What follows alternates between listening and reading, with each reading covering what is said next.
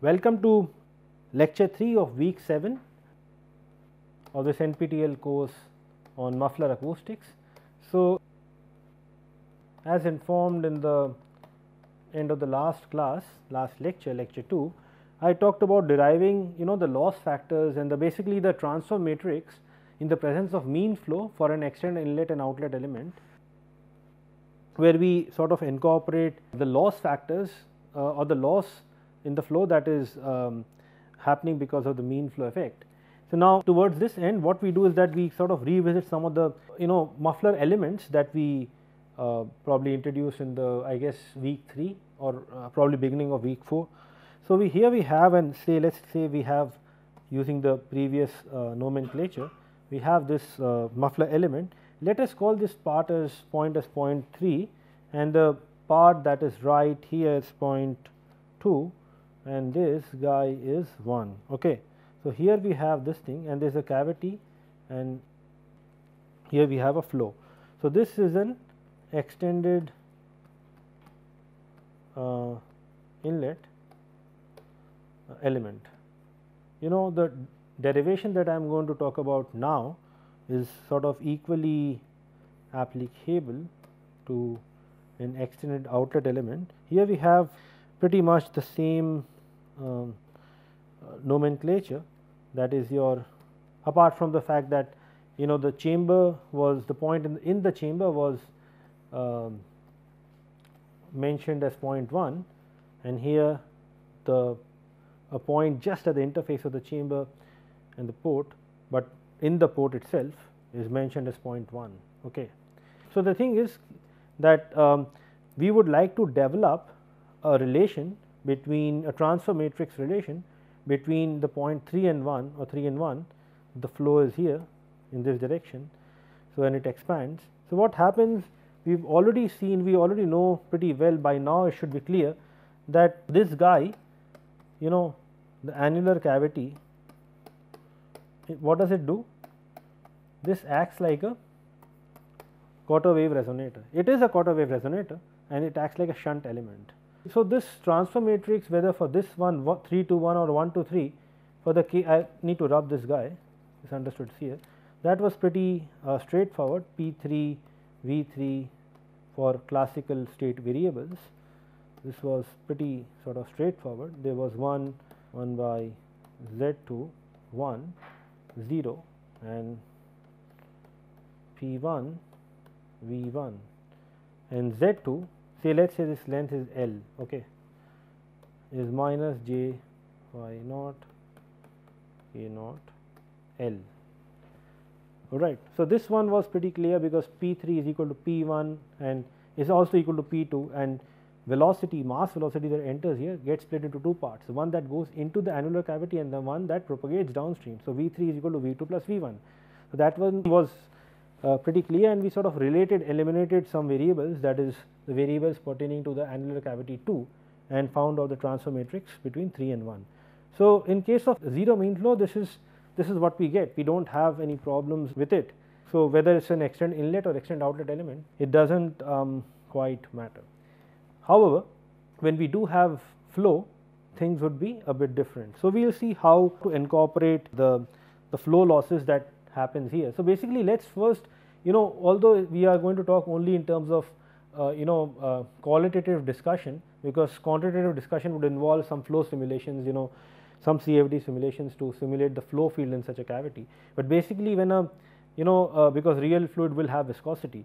So, when you have flow coming in here so and it, it is sort of uh, going out. Again there will be there will be a potential core as we were discussing just at the beginning of this week's lecture and there will be vortices that will be shed and uh, it will create some noise okay? It will definitely create some uh, separation noise. But then there will also be uh, you know something like a head loss. There will be loss associated with sudden expansion of the flow. So, that is going to probably aid in greater attenuation, but then the main worrisome feature is the noise that will be occurring due to the free shear layers that are formed here in the after the uh, collapse of the potential core. So, that really is the culprit and it is from our experimental observation that you never actually allow the flow to separate like this. You actually connected by a perforated bridge just like I was mentioning at the beginning of the last uh, last lecture. So, but nevertheless for the sake of uh, completeness of this theoretical development and what has been usually classically taught, we do consider some loss factors uh, you know what we can get. Basically they are like head they are related to head loss when the flow expands suddenly uh, from a pipe and that would actually like I said aid in that animation. So, let us first uh, get that, but obviously uh, one would never allow the flow to expand or contract suddenly. It sort of is counter counterproductive, but we still derive some theoretical expression that it would you know sort of need much more uh, comprehensive uh, modern experimental validation. Let us begin our uh, derivation for this thing. So, now let us consider extended inlet element this is your extended outlet. Okay. So, let us focus on the figure A all right. What happens across this discontinuity? So, unlike in the case of a st static medium that is where there is 0 mean flow where the pressure is constant like I mentioned and the mass velocity gets split into two parts. Uh, you know here the stagnation pressure or the perturbation pressure P c decreases across an area discontinuity. So, the stagnation pressure the perturbation pressure the convective uh, pressure P c not P tilde P c tilde that decreases across an area discontinuity and because as the flow passes a certain change a part of the flow acoustic energy is converted into heat or basically losses. So, that increase that results in an increase in entropy.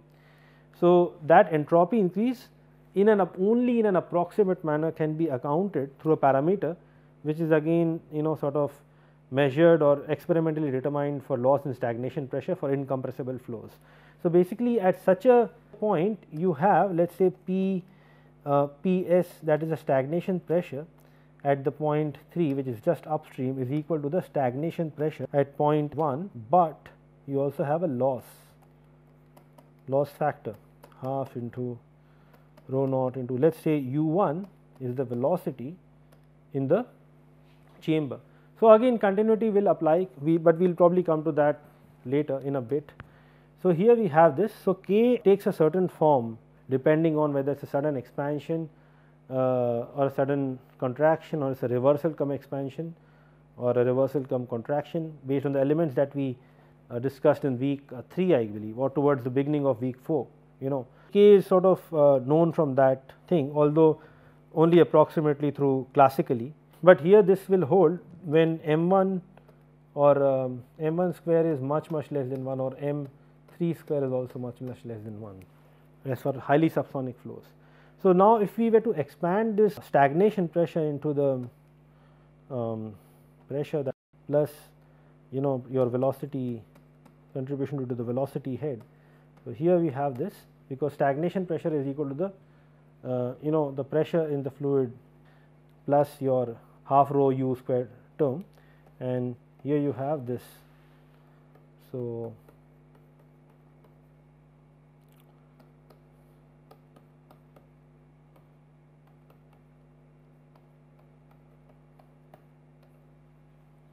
So, now this loss coefficient I will probably talk about that present a table later, but what we immediately need to do is that since we are doing acoustics we need to do some you know apply some perturbation. So, this equation needs to be perturbed.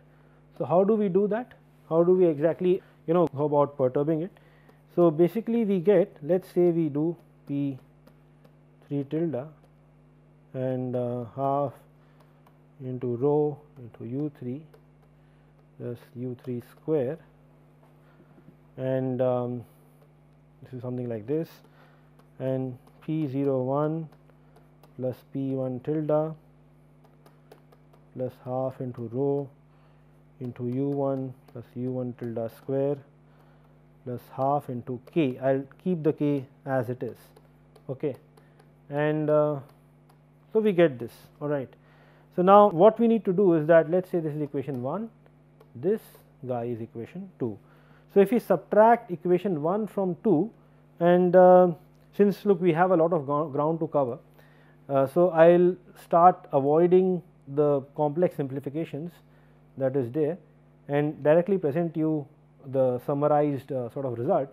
So, the idea is that to subtract this entire guy from this particular thing. Okay. So, 2 minus 1 okay, we will do that and when you do that and simplify matters do the algebra. So, what you will get is P 3 tilde plus rho naught u 3 and u 3 tilde is equal to P 1 P 1 plus rho naught u 1 and u 1 tilde plus k times rho naught u 1 and u 1 tilde. Okay.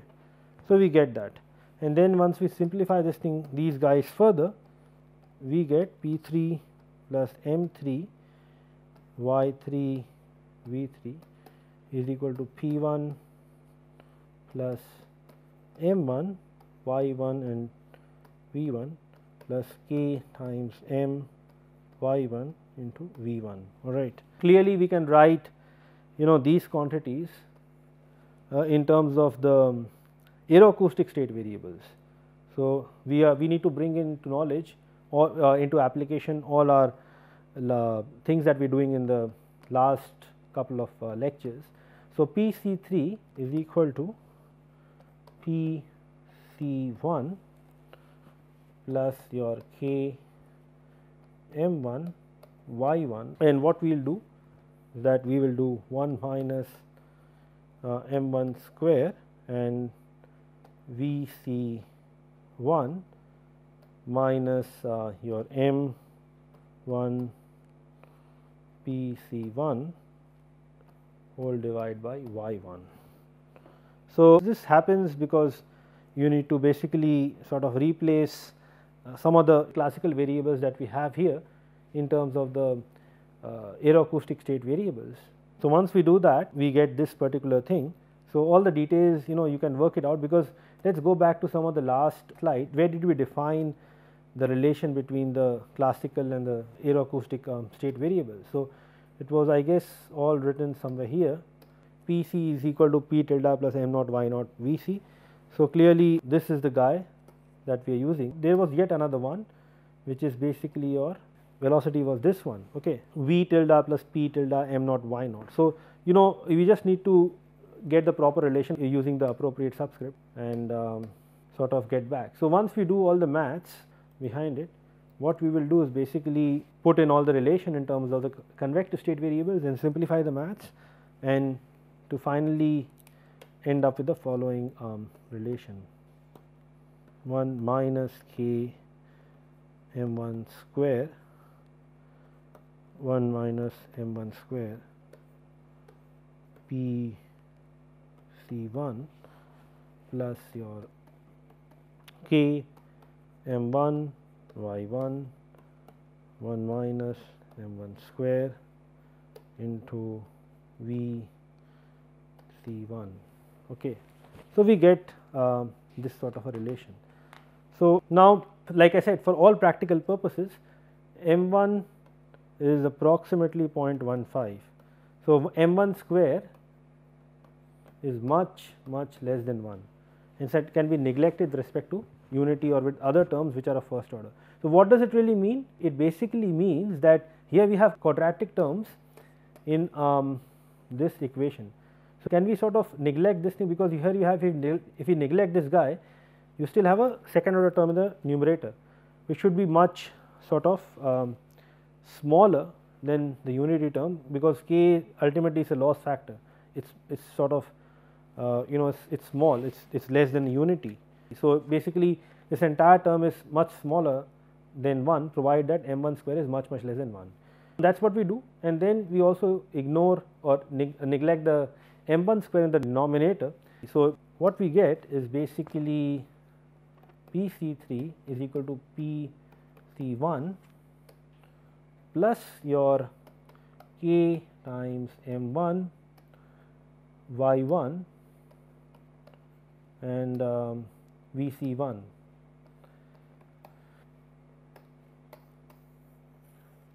All right.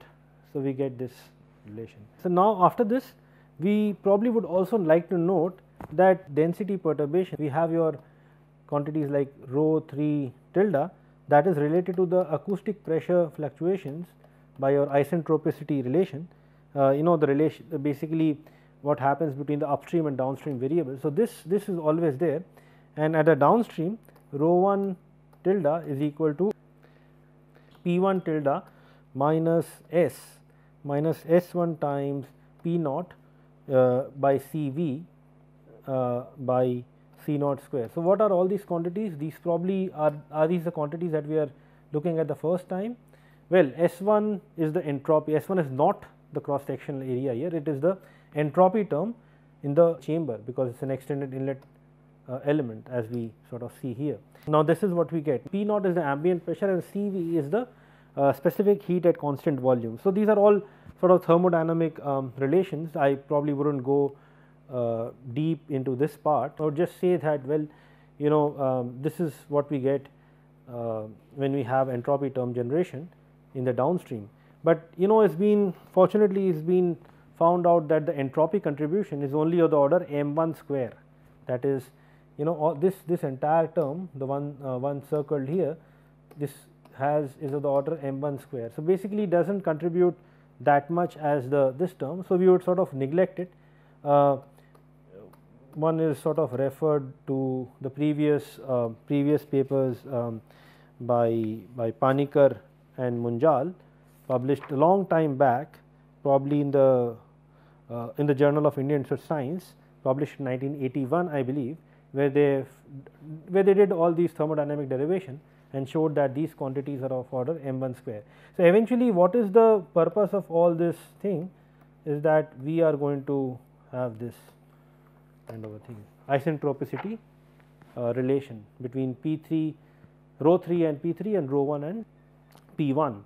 Okay. So, we will keep this handy. Now, another thing that comes to our mind while doing all this is the continuity relation. So, we have your rho naught basically whatever mass flux goes here it has to come out of 1. So, continuity is I mean it is very important. So, it has to be uh, maintained. So, rho naught S 3 into u 3 is equal to rho naught into S 1 into u 1.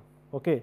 Now, as usual we go about our business of doing perturbation rho 3 tilde S 3. So, let us quickly sort of uh, write it down this would not take too much of time rho naught plus um, rho 1 tilde into S 1 into u 1 plus u 1 tilde.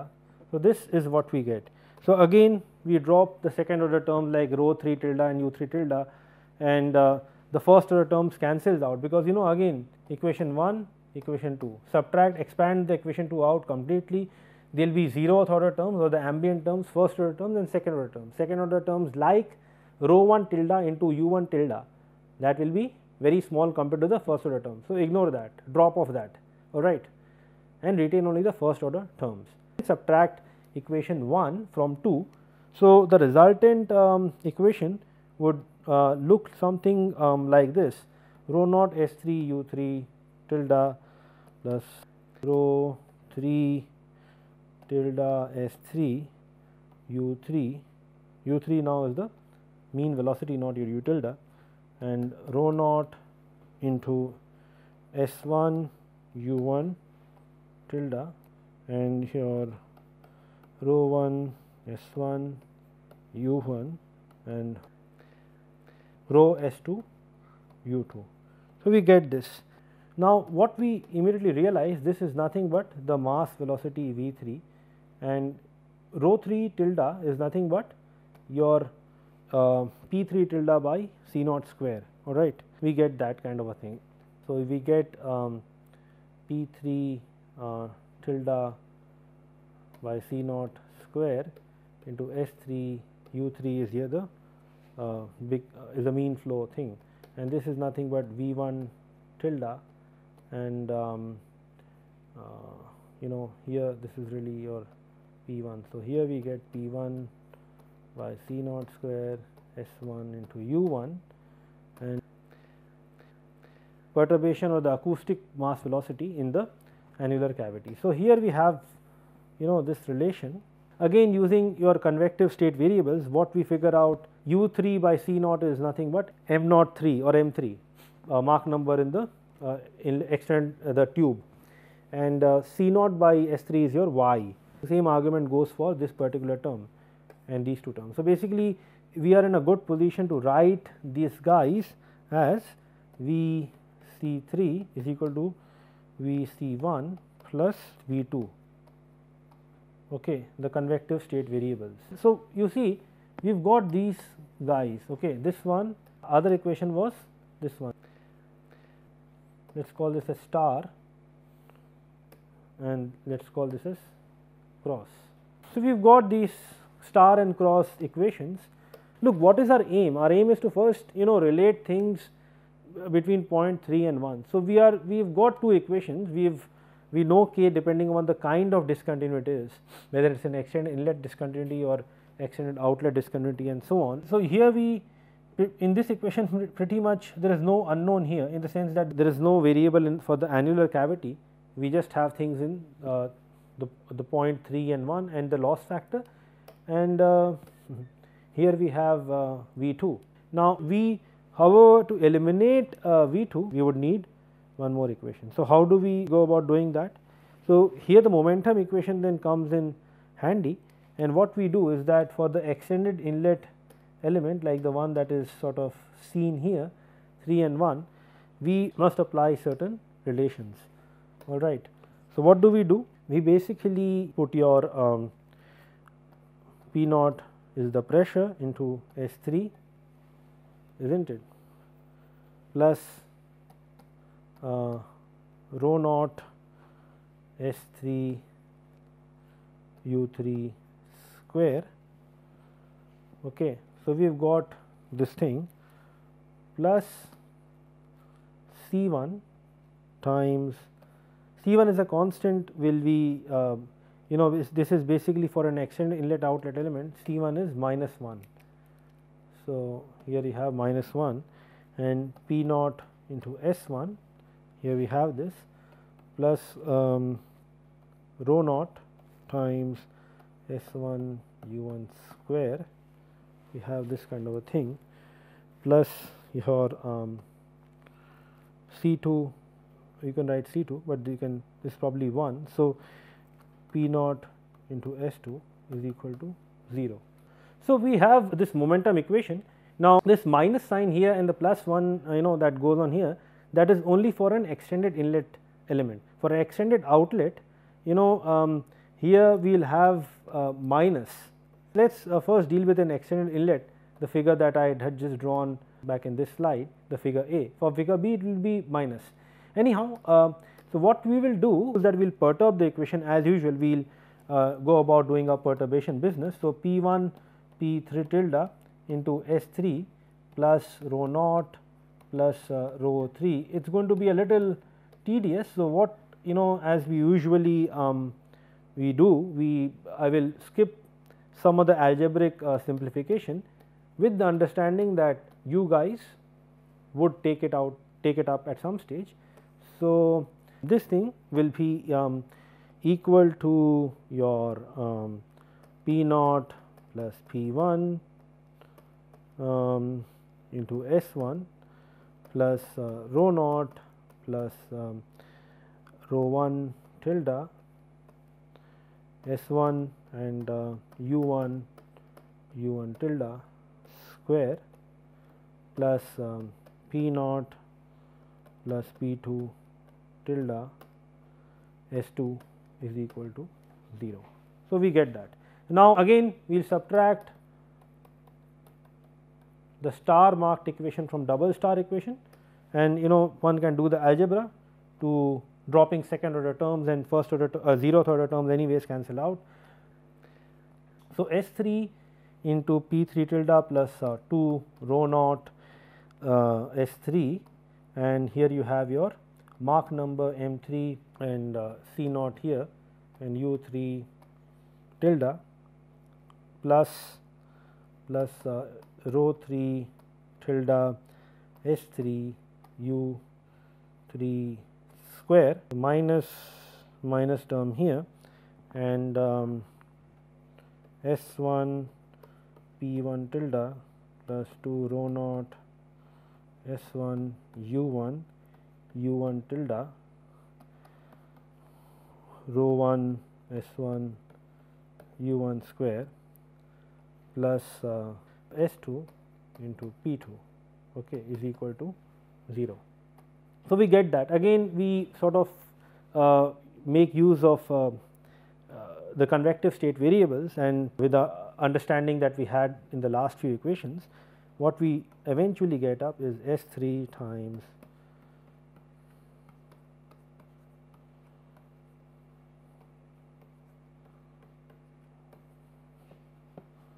So, we get this part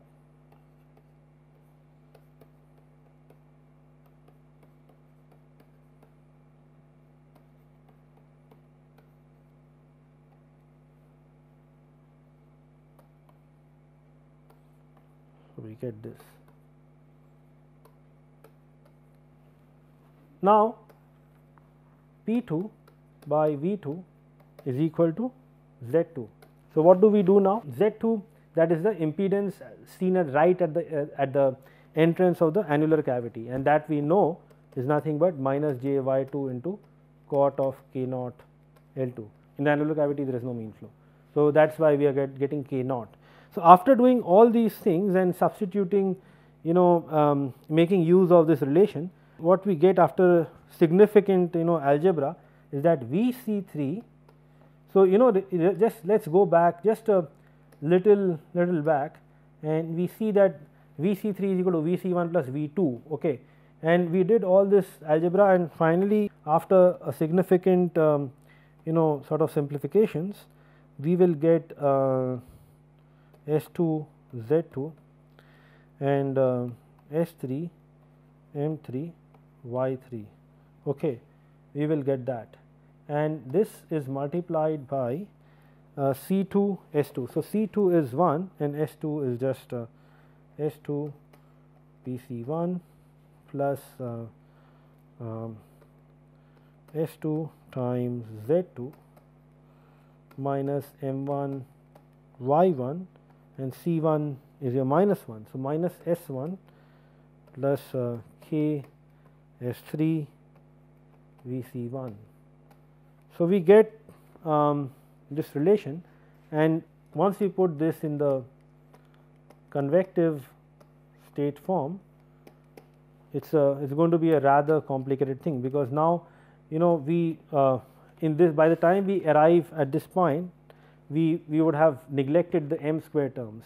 Now, all these things uh, can be further written in an approximate manner as k 1 k m 1 y 1 and your uh, here will be you will be having S 2 you will be having S 2 and uh, S 2 Z 2 plus S 3 M 3 Y 3 and here you will be having S 2 Z 2 minus M 1 Y 1 and minus S 1 K S 3 and uh, the denominator you are having S 3 M 3 Y 3 and this thing will be eventually related to V C 1 V C 1.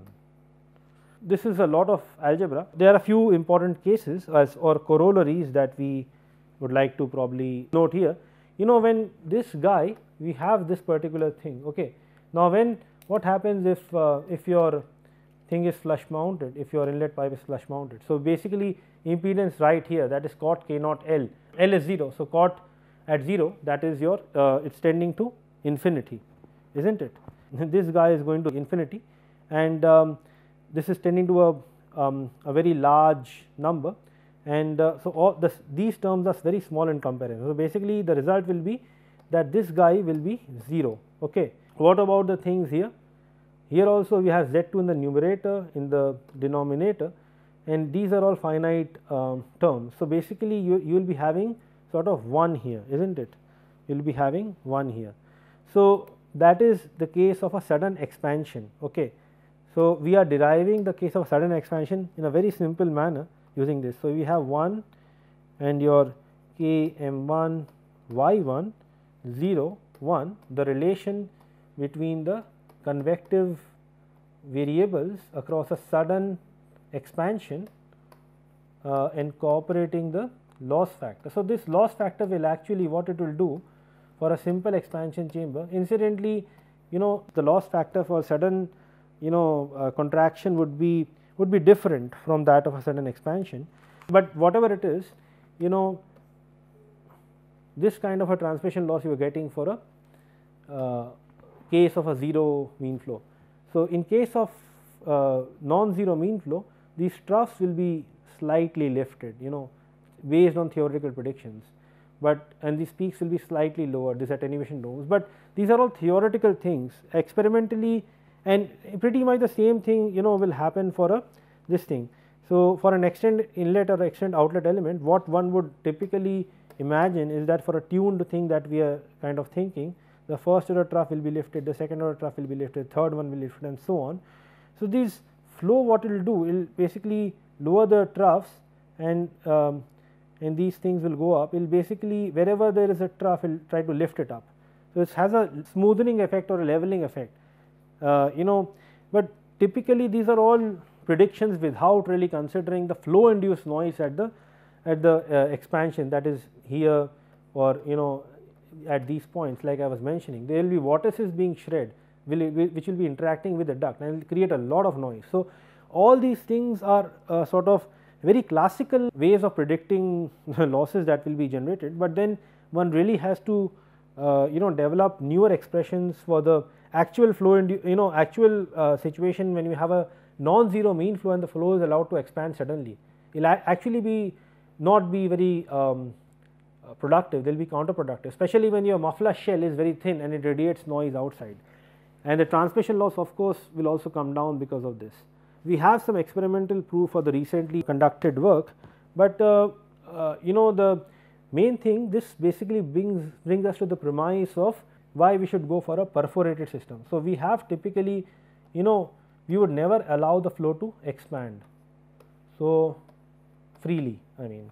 So, what we do is that so this brings us to the topic of perforated mufflers and right now we are just going to discuss very briefly in the next couple of minutes or 5 minutes about why do we need to have perforates, uh, what purpose does it serve and maybe I will show you some nice photos available in the internet about some cool perforated mufflers uh, chambers and um, so basically what you have what you do is that you connect the while you know we have tuned the chamber L by 2 and this is L by 4 for instance.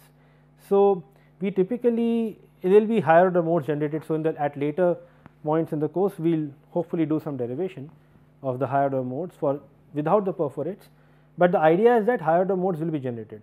So, you can tune this by slightly reducing the length here, the geometrical length and so on. Now, the perforated bridge length will increase. Okay. So, when it does so, so uh, I mean this, this gap will increase. So, basically what you need to do is that connect the, the inlet and outlet pipe with a perforated bridge, we will connect that.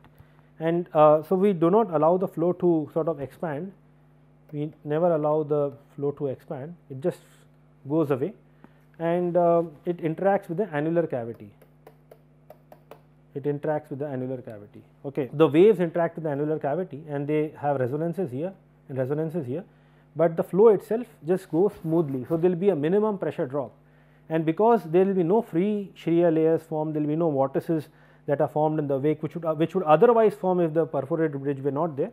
So, the flow induced noise, the counterproductive noise will not be there. So, the flow can smoothly go away like this and uh, leave the outlet here but at the same time a highly perforated bridge. So, you know we will discuss all the parameters that are relevant to discussion of perforate especially when you talk about impedance. One of the important parameters is sigma or the porosity which typically you know sort of varies between you know 5 percent to about 30 percent. 30 percent porosity means it is basically the ratio, open area ratio. So, it basically is nothing but a pipe in on the surface of which there are holes small small holes are there at some interval there have been different uh, you know manners in which perforated things are drilled. So, uh, through these waves I am sorry through these holes the waves are allowed to interact with the outer cavity. So, if this is 30 percent then it is highly porous it is virtually like it is acoustically transparent but at the same time mechanically it is allowing the flow to go through. So, these holes are very small about roughly 2 to 4 mm diameter and placed at a certain spacing. So, we see these perforated things very commonly I show you some photographs of the perforated stuff that we did, uh, did some time back. So, basically not allowing the flow to expand freely, but, uh, but at the same time allowing the waves to interact with the cavity is what the perforate does and it really kills or does not does not bring into picture the uh, separation noise. And experimental evidence has it that you know this is much better than just allowing the flow to expand. And in real life also no one really uses a bare extended inlet and outlet chamber. You know people really need to use some perforated thing and that is why this perforated elements are studied a lot and in all commercial vehicles I will show you a couple of photographs uh, they are there. And there is another element also perforated thing there is something like uh, this is here the flow just grazes the surface you know, uh, but there are other elements which something like let me just sort of draw it uh, quickly uh, for you guys. So, here you can have a solid pipe and we have a, have a overlapping element and um,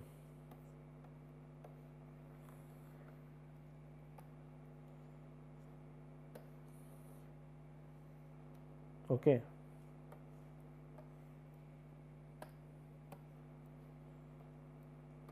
So, the flow has to go through this, flow has to go through this. Okay. So, basically such a element is called a cross flow expansion chamber. So, here cross expansion uh, takes place is no longer a grazing flow, flow has to go through this. So, the perforated impedance expression sort of changes um, significantly. So, hopefully we should be able to do that as well. Now, let me show you some nice photographs of the interiors of how the typical you know perforated element looks like. So, we see this perforated tube. So, these are something that we fabricated some time back. This is nothing but something like two and a half or 3 mm uh, MS steel pipes and a number of holes were drilled at regular intervals as you can see here about 2 mm, 3 mm holes and um, they drilled at regular intervals. This is definitely highly porous because you know porosity is about 28 to 30 percent somewhere between that and this is about only 12 percent. So, you know acoustical properties the final thing that matters is transmission loss of a muffler which is highly dependent on the porosity.